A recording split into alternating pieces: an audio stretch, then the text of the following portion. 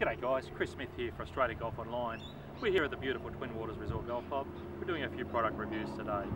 This time round we're looking at the, uh, the latest hybrid design from Ping, the Ping G25 Hybrid. Um, certainly a nice forgiving design, nice broad sole, not overly large, but um, certainly looks good at address and is nice forgiving for those shots that you want to get up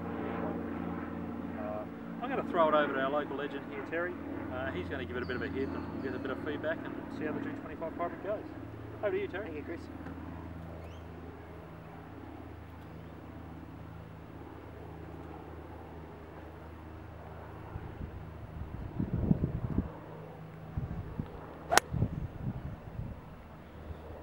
Well guys, that felt absolutely great off the, off the club.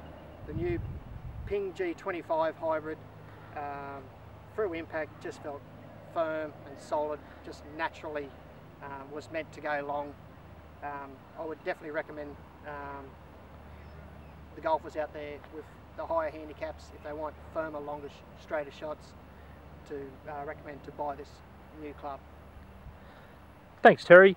You can view the G25 Hybrid at our hybrid page at golfonline.com.au and like Terry you can uh, you can check out the G25 it may be a valuable addition to your bag.